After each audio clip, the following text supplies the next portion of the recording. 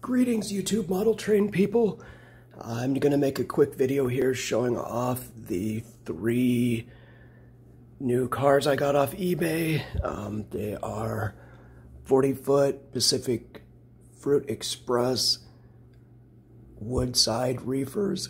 Um, unfortunately, they all have the same road number, but I'll space them out. I have quite a collection of these. I probably got, oh, I probably got over 50 of them now. The rest of them are all in storage, but I just saw these. They were a great deal on eBay, so I had to pick them up, and I'll show them to you right now.